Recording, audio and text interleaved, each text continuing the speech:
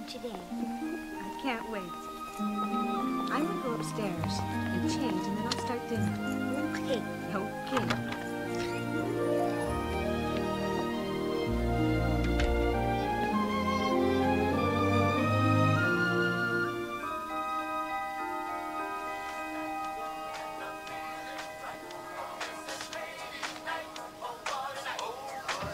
Oh, yes, it's ladies' night in the field. Ooh, showtime.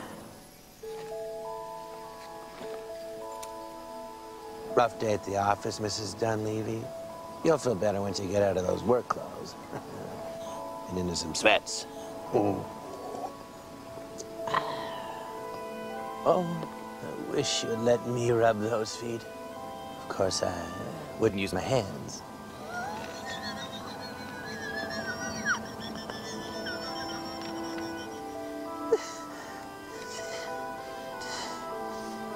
Oh, I think Victoria just told me her secret.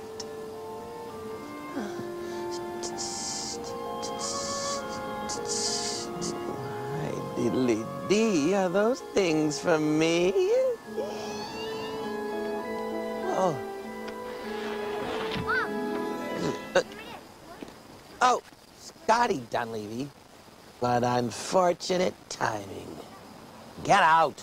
Don't you know this is naughty time? I'll get it. Hello? Hello, Scotty. Say, why don't you be a good little boy and go downstairs, let your mother get comfy, all right? Who is this? This is a big bird who wants to see the rest of Mommy. oh, oh. Oh my God, Scotty. Is that a man up our tree? No, no, tell her it's a bird. It's just a big bird.